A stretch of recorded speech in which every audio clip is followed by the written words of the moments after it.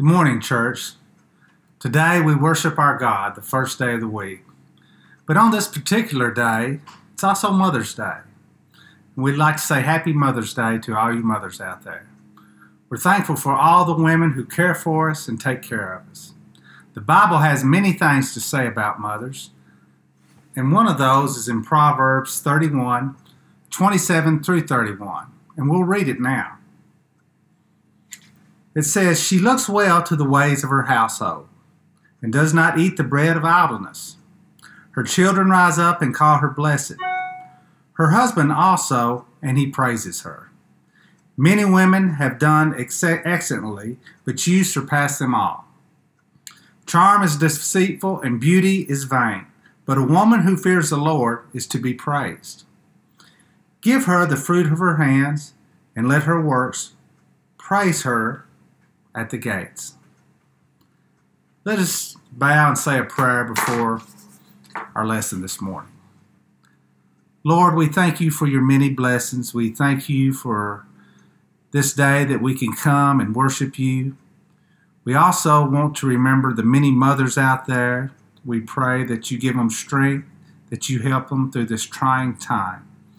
We also ask that you guide many people who are sick and in bad health uh, who are having financial difficulties. Um, some are having mental uh, stress in their lives because of the situation we find ourselves in.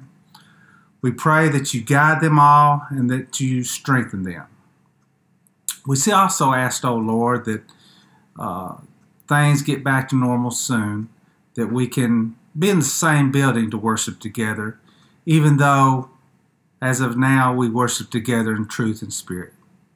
We ask you to be with us all. We ask you to strengthen us. And we ask you to keep us safe. In Christ's name we pray. Amen. Our first song is Great is Thy Faithfulness. Oh, me. Great is thy faithfulness,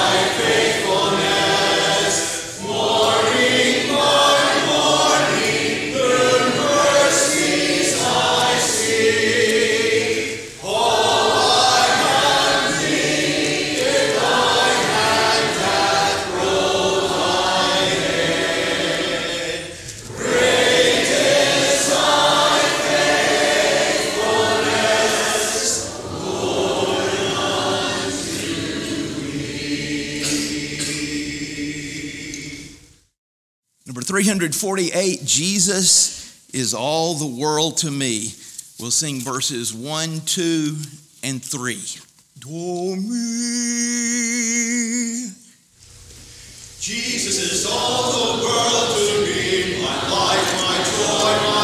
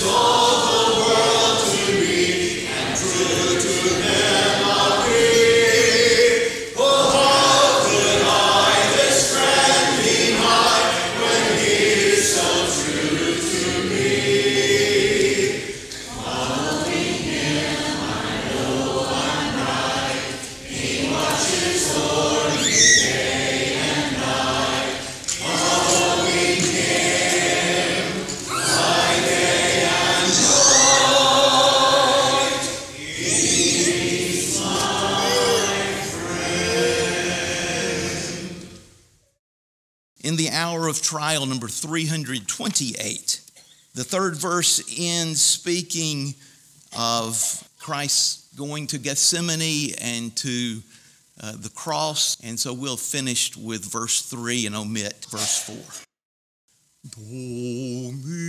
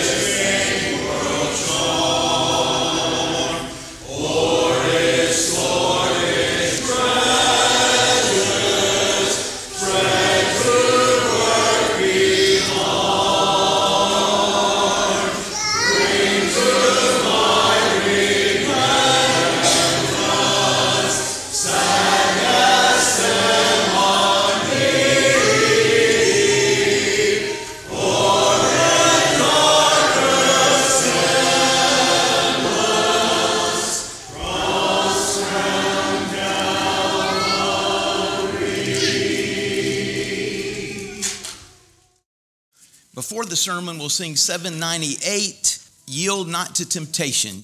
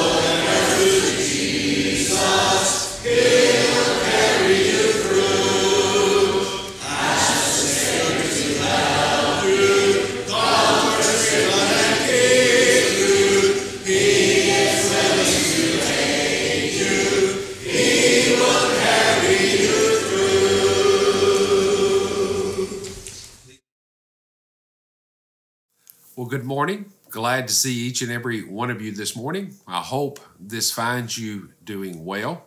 We want to say Happy Mother's Day to the mothers that we have in our congregation. Thank you for your love, your dedication, and your sacrifice to us as children. You know, it's very interesting that Mother's Day is not that old. It's really only 106 years old by proclamation. It started early in the 1900s by a lady by the name of Anna Jarvis. After the death of her mother in 1905, she wanted to have a way for children to celebrate their mothers. And so, with the backing in 1908 of a Philadelphia department store owner named John Wanamaker, she was able to organize a Mother's Day event. That event was started in 1908 in West Virginia. By 1912, many states, towns, and even churches had picked up the day and had adopted it as Mother's Day as a holiday in their town. And at that time, Jarvis organized an association called the Mother's Day International Association to help promote her cause. And that went all the way up to the upper echelons of our government. And in 1914, the president, Woodrow Wilson, signed the official measure making the second Sunday in May as Mother's Day. And even though this holiday is new to the United States of America in a sense, it is not new to God.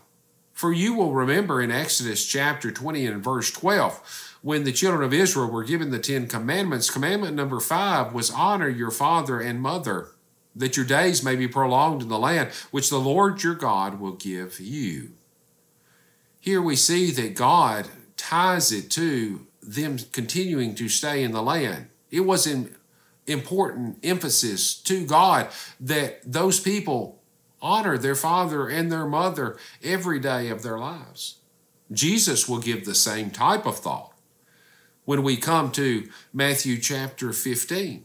In Matthew chapter 15, starting that about verse 4, we find out that he is in a discussion with the religious leaders. They are trying to accuse him of wrongdoing. And Jesus will use this to show that they are actually the ones who are doing wrong against God. They are the ones who are sinning against him. He says there in Matthew chapter 15 in verse 4 For God said, Honor your father and mother, and he who speaks evil of father or mother is to be put to death.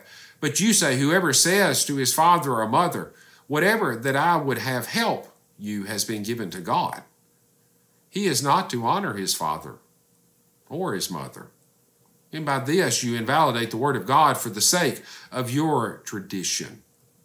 See, Jesus shows their true nature in the fact that they did not want to honor their father and mother, but they only said, The things that I have, I have given it to God. Now, they had not really given it to God, they had only used their mouths, they were lying about it. But God didn't like that. God wanted them to honor their father and their mother all the days of their lives. Also, when you turn in your Bible to Matthew chapter 19, you remember the rich young ruler and how that he was discussing with him about the commandments. And Jesus will tell him in Matthew chapter 19 and verse 17, if you wish to enter into life, keep the commandments. And the ruler will then, of course, ask the question, which ones? And in verse 18, Jesus, in response to the question, says, You shall not commit murder, you shall not commit adultery, you shall not steal, you shall not bear false witness. Honor your father and mother, and you shall love your neighbor as yourself. As Jesus tells this ruler, it needs to be understood by us in our day and time that Jesus expects this to be done, and that these commandments that he gives here are still valid for us today. We need to make sure that we are honoring Father God by honoring our mother, not just one day as proclaimed by the government, but all the days of our lives. This is truly a life that is pleasing to God. And God does not qualify in there, honor mother if she was a good mother. It is unfortunate that we have some that did not have good mothers. And I know at this time of year it can become a thought that might be hard to wrap your brain around. But I would say to you that you need to honor mother and ask God for wisdom. Pray to Him and ask Him how that you can do that in good conscience because He truly has the answer. If you had a mother that was a God fearing mother, then you are a child that is truly blessed. And God wants you to make sure that you understand that it is your responsibility also to honor mother not one day a year, but all the days of your life. As we have come to this day, Mother's Day in our country, our thoughts are on our mothers, whether they are living or they are deceased. This morning, for a moment of our time, I would like to talk about what makes a good mother. Because I doubt that there's any mother that wants to become a bad mother. As we learn to honor our mothers, we need to learn what God requires of mothers. When we turn to a passage like in Luke chapter 1, we find an example of a good mother. A woman who didn't expect to be a mother. When we come to Luke chapter 1, starting there about verse 26, we learn about a lady by the name of Mary. You know, last week we learned about the exiles, and we learned that God sent them away. It was by His power that they were sent away because of their sin. God caused this to happen. When we look here in Luke and read in about verse 26 and going forward, we find out that God is causing this to happen. That Mary is called like an Old Testament prophet to fulfill a task of God. Now, those Old Testament prophets were sent out to give the word to the people. Mary is going to be given the task of being a mother to the Son of God. And that's what we learn about Mary. First and foremost is that she gave herself to the Lord and His Word first. As you come to verse 26, we find out that Gabriel comes in her presence. Now, he's not one that is a spirit. He's not dressed in white. He's not floating around. But if you'll notice in verse 28, it says that in coming in, he said to her, Greetings, favor one, the Lord is with you. Gabriel is an angel who appears as a man and gives good words to Mary. He tells her in verse 30 Do not be afraid, Mary, for you have found favor with God. And behold, you shall conceive in your womb and bear a son, and you shall call his name Jesus. He will be great and will be called the Son of the Most High. And the Lord God will give him the throne of his father David. And he will reign over the house of Jacob forever, and his kingdom will have no end. Here we see Gabriel giving the future of the Son that will come to Mary. And of course, Mary does not ask about that future, but she asks, How can this be in the next verse? And she's never been with a man. And we understand that. That that would be a question that any woman would have. And of course, we see that Gabriel will go on and tell her that she is going to have a child by the power of the Holy Spirit coming upon her. And that child will be named Jesus, which is a form of Joshua. And in the Greek is translated, the Lord saves. And with all of these things on this day, as Gabriel has come to her, I love verse 38. Verse 38 And Mary said, Behold, the bondslave of the Lord, may it be done to me according to your word. And the angel departed from her. Notice the faith that Mary has. That's the reason why I said for the first point, she gives herself to the Lord first in His Word. She's not a mother at this point. She had not planned to be a mother at this point. But as she is told what God is going to use her for a task, she says in verse 38, May it be done uh, to me according to your word. Mary is answering the call of God and is ready to do what God has asked of her. She is a woman who has faith to understand. She has a believing faith and an active faith. And she is going to do what God wants her to do. Compare that to one we find here also in Luke chapter 1. The faith of Zacchaeus, a man who is a priest who will be the father of John the Baptist, a man who is serving in the temple. And when he is told about that he is going to have a son, his response in verse 18 is this Zechariah said to the angel, How will I know this for certain? For I am an old man and my wife is advanced in years.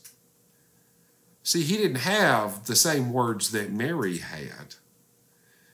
Mary said, Let this be done to me. Zacharias wanted a sign. Well, he got a sign. As you go on and read here in the verses, we find out that he is not going to be able to speak until John is born. And his uh, tongue is not going to be loose until John is born. And they ask him what the child shall be named, and he says, His name shall be John. Now, Zacharias was not a bad guy. The fact is that his faith just did not carry him to the place that Mary's was. He didn't believe and have the active faith. He will suffer for the months that his wife Elizabeth is pregnant as he is mute, thinking about what he really should have said. And this does not mean that Zacharias was a bad person because he had the wrong conclusion at this point. Because we see others in the Old Testament. I think about Moses, for example, as he was standing around that burning bush, as he was talking to God, and God giving him the words that the task and the words that he wanted him to do. We find out that Moses was full of excuses. Zacharias will continue to be used for the Lord as he raises up John in the word of the Lord. But it's very interesting that Mary gave herself to the Lord first and his words, even before becoming a mother. Secondly, I'd have you think about Mary in the fact that as a mother, she believed in God's power. She believed in God's power. If you turn over to a passage like John chapter 2, and you look there in John chapter 2, verses 1 through 11, we find out that a wedding is happening in Cana. Cana is a city located about four miles from Nazareth. And we don't know that if this is a relative of hers or someone close to the family, but what we find out is evidently she's a part of the wedding planning committee. As she has found out that they have run out of wine, and she tells this to Jesus. And she knows the power in her faith that Jesus has. I'd have you notice verse 5, if you will.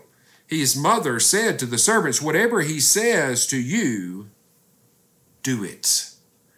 Mary has all the confidence in the world in the Son of God, in her physical Son, Jesus Christ, to accomplish the task.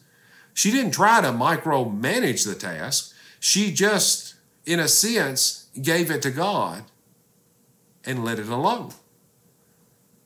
As you know, these water pots, as you see here in the book of John, were for purification, and they were quite large pots, 20 to 30 gallons each. And they were never used for wine. They never had a drop of wine in there. But what we, of course, find out is that Jesus listens to his mother and shows honor to her by fulfilling her wish. And that's what we need to learn about Jesus is that in his day and time, as he walked on the earth, he honored his mother because she honored him. He makes everything better if someone is willing to ask. That's what we see about Jesus, is that he wanted to make sure that he honored her because she honored him.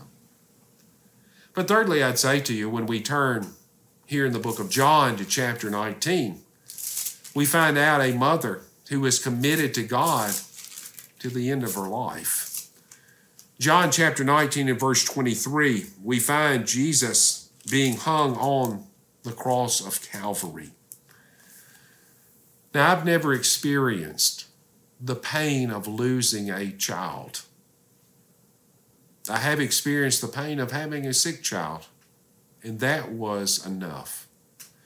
And for those of you mothers who have lost a child, let me say my sympathies are with you even this day if it happened many years ago. Because it is a pain that pierces to your soul. There is a hole that is left there that will never be filled. And Mary is experiencing this this day. Her son, who is innocent, is hanging on a cross as she looks at the blood coming out of his body as he has had the crown of thorns, as he has been whipped and sees the scars on his body. I wonder as she stood there underneath the cross here in John chapter 19, verses 23 through 30, if she thought back through her memories to the days when he was just a baby. It's very interesting that Mark Lowry and Buddy Green wrote a song that talked about those days in the very beginning, a song that you're probably familiar with Mary, Did You Know? And I don't want to read all the lyrics to the song, but just a few that bring to our attention the greatness of Jesus. The blind will see, the deaf will hear, the dead will live again, the lame will leap, the dumb will speak the praises of the Lamb. Mary, did you know that your baby boy is Lord of all creation? Mary, did you know that your baby would one day rule the nations? Did you know that your baby is heaven's perfect lamb? The sleeping child you're holding is the great I am. I'm sure that those scenes went back to Luke chapter 1 that we read just a few moments ago, as she is told about what Jesus will do in the future. But now the day is here. He is hanging on that cross, blood dripping, and we once again see the character of Jesus in the fact that he honors his mother. When you look down here in John chapter 19, you see in verse 26 when Jesus saw his mother and the disciple whom he loved standing nearby, he said to his mother, Woman, behold your son. Then he said to the disciple, Behold your mother. And from that hour, the disciple took her into his own household. Lastly, when we think about Mary, I'd have you think about the fact that she continued on. Losing a child is awful. And there have been some mothers who have wanted to give up on God because of this. But when we come to Acts chapter 1, looking there at verses 12 through 14, Mary was not one who did that. She was one who was there in verse 14 in the upper room. It says there in Acts chapter 1 and verse 14, these all with one mind were continually devoting themselves to prayer, along with the woman and Mary, the mother of Jesus, and his brothers. Mary could have used excuses to walk away from God, but she chose not to. Mary could have said, I didn't realize when a, this task was given to me that I would have to pay such a price as a mother. She didn't use that. She continued to serve her God. I think about those words that Gabriel gave to her in Luke chapter 1 and verse 30 when he says to her, You have found favor with God. I think we can see now why it is that God chose her because she gave herself first to God in His Word, gave herself first to the Lord. And then when she became a mother, she believed in God's power. And then, thirdly, a mother who is committed to God to the end of her life.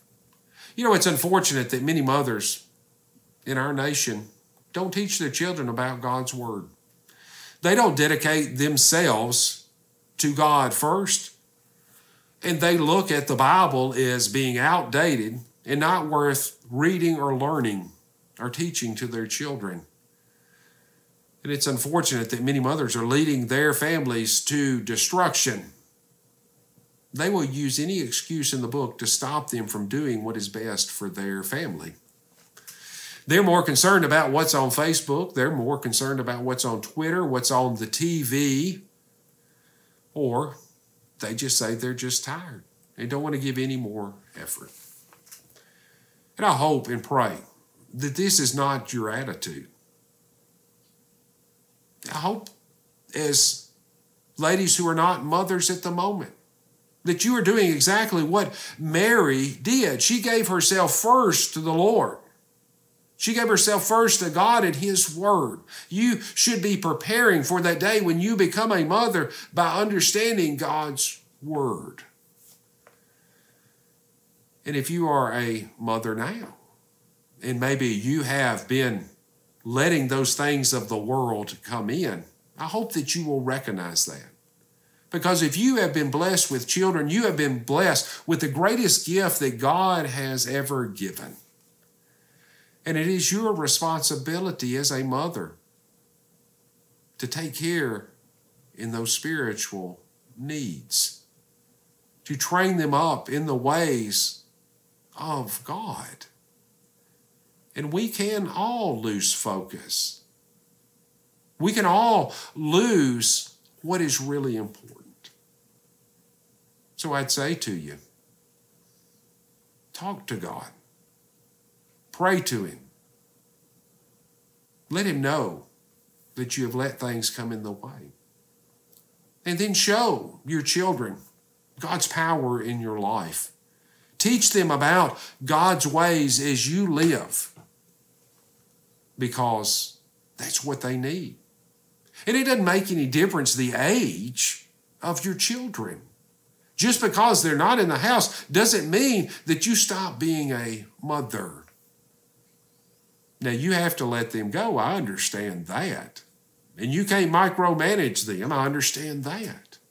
But you can continue to teach them about God's power in life and teach grandchildren. And you say to me, Well, I'm a woman, but I don't have any children. Can I tell you that you, as an aunt, as a friend, can have great influence in teaching children? I remember my dad talking about his aunt who had no children, but she was a great influence in his life as she taught him about God, taught him about the way that he should live.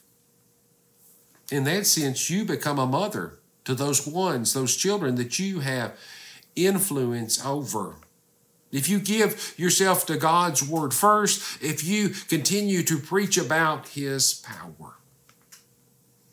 And then also, I'd say to our ladies, don't give up on God. You remember this task was given to Mary? She wasn't expecting it, it wasn't planned for, but she handled it with grace and dignity. And that's the way life is to all of us. We never know when a hurdle like this, a change of direction in life will occur. The fact is is that we have our God. And we will need to continue to serve him all the days of our life. It could even be, unfortunately, the death of a child. But we overcome just like Mary overcame. She continued to serve her God. She continued to have one mind and one heart with those disciples. And I hope we at Millersville encourage each other to do that same exact thing, no matter what obstacle comes in our life. Mary was not a mother who would let anyone or anything stop her from doing what is right. And I hope that we,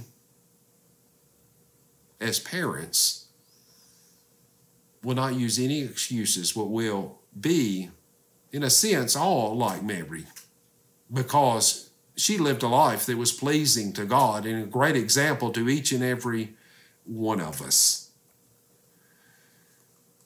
If you have any needs before God, I hope that you will call the elders. They are there for you and they want to talk to you. If you've never rendered obedience to a child to being a child of God, I hope this day that you will realize that you need to give yourself over fully to the Lord and to his word. That's where it starts for any of us.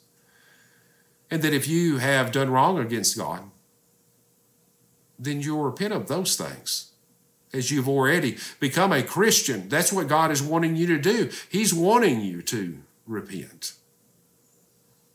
Come to Him, lay it at His feet. You might have a problem in life that seems like it is too hard to overcome. If you need help in any way that I can help you with, I'd ask you to please call me. Be more than happy to talk to you about anything that you have on your mind and in your heart. God wants us to succeed in life. God wants to save us. And so let's do our best for God this week, whether we are a mother, whether we are a father, whether we are preparing to be mothers and fathers. Let us go out and be the lights that we know that we should be before our God to please Him. Have a blessed week. Number 760, who will follow Jesus.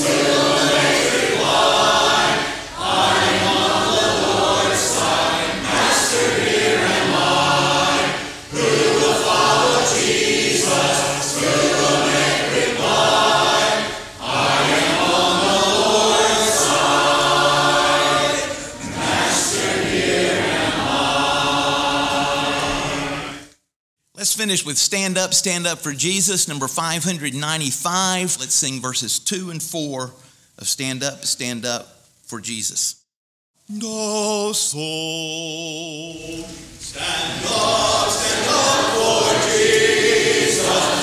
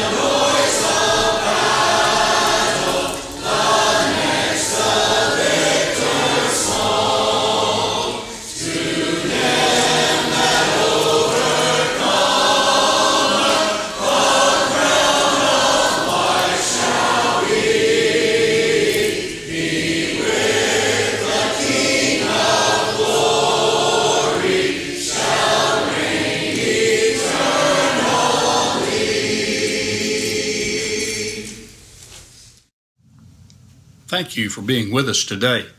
We appreciate Keith for his timely lesson. Please remember all of those who are in need of prayer and encouragement. A bulletin is in your email today, or it's in snail mail if that's uh, what you chose. We know you're wondering when we'll get together again for worship at the building. It's on the elder's mind, and to that end, we will be meeting with the deacons soon to develop a plan, and we will pass that along to you. My thought for today, as we close out our service, is from Hebrews chapter 12 and verse 1. Therefore, since we are surrounded by so great a cloud of witnesses, now the context helps us to appreciate those who have gone on before in their spiritual service. Well, today is the day that we need to remember our mothers. And I'm especially mindful of mine for the great example that she left for me. And I hope and pray that you all have the same thoughts as we together remember Mama. We appreciate our Father in heaven for the family plan and that mothers were made a part of it. We thank you again. And today, uh, we think of mother because in Philippians chapter 4, Paul tells us to think on lovely things. And I believe that mother certainly qualifies. I hope you have a blessed day. And let's pray together now as we close out our, our worship period. Father in heaven, we're so thankful to Thee for this day and its blessings. We're so thankful, Father, for the love that you have for us. We're thankful, Father, that you sent your Son to die for us and to give us hope of eternal life and forgiveness of sin. And we ask you, Father, to look down on us in mercy this morning and cleanse us from all impurities, that we might stand pure and justified before Thee. Thank you, Father, for the opportunity to worship even though it's electronic. We, we thank you for that feature that enables us to be together, even if we're apart. We thank you, Father, for, or we ask you, Father, to uh, help us remember those who are sick and those who need encouragement. And we ask you, Father, to bless us in our efforts to minister to them in whatever way that it might be possible. Father, as we count our blessings, we thank you for our mothers. And there are many other blessings, but today we're thinking about mother. Bless us all, Father, now as we strive to do your will. We pray, Father, that you'll truly be the King of our life. And we ask you to help us as we look for opportunities to serve and do the things that are pleasing in your sight. Thank you so much for all that you do for us, and especially for Jesus. And it's in his name we pray.